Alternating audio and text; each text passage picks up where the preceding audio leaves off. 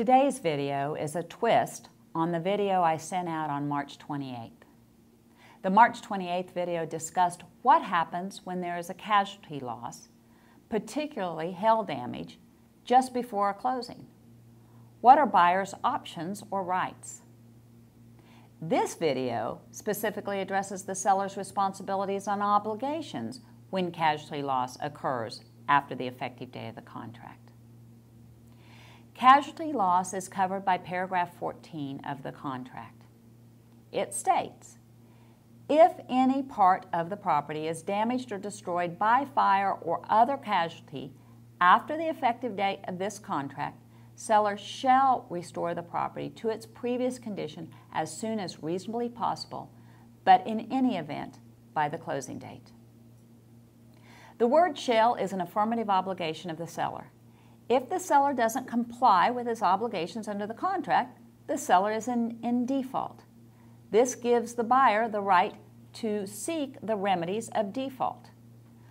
They include enforcing specific performance or seeking damages, or terminating the contract and receiving a refund of the earnest money.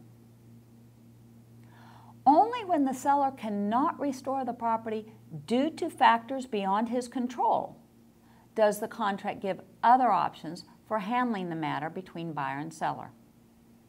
The contract goes on to state, if seller fails to do so, that's meaning restoring the property, due to factors beyond seller's control, Buyer may A. terminate this contract and the earnest money will be refunded to buyer.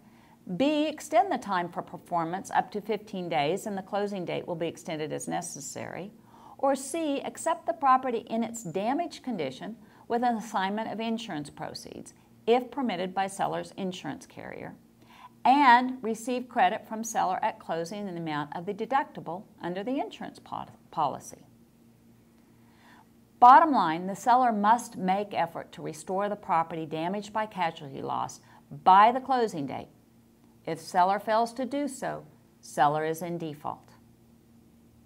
Now, what if the seller says he has restored and buyer is not comfortable with the restoration? This is really no different from when buyers and sellers argue as to whether agreed upon repairs have been completed. The buyer wants gold plated repairs and the seller wants to use duct tape. It would take a professional person in the business of inspecting the property to establish whether the seller has restored the property to the condition it was uh, before casualty or not. I believe in a case like this, it would be the buyer who would need to have a reinspection to prove the restoration was not complete, rather than the duty of the seller to provide such a report as to completion.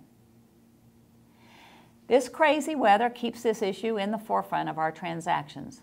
I hope our discussions in these videos give you some guidance. Thank you for watching. Let me know if you have other topics you would like addressed. As always, Allegiance Title is your trusted resource for results. Thank you.